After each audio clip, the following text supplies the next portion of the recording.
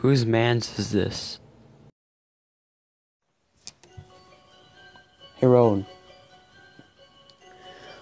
Let's talk about all the L's you're taking.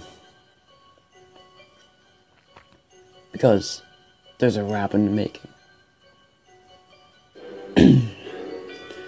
it's time for my awakening. This rap is a career taken. Sorry, bro. Let's get on to it. So let's talk about the time when you're in your prime. Oh wait, I must be hallucinating. Now it's time to rhyme. Let's remember the match. We didn't even know how to catch. You're so trash. I didn't even want a rematch.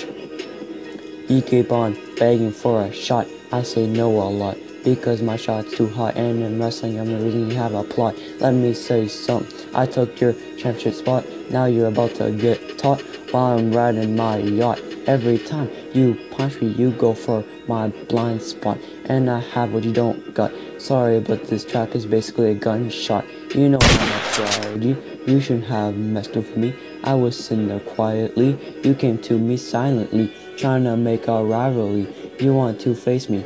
Now I'll give you anxiety. But you tried to act rightfully. But now I am righteously. These disses were just a tap. Don't me come at you with another rap. And that one I will snap. And you'll become scrap. That's enough for now. That was a wrap.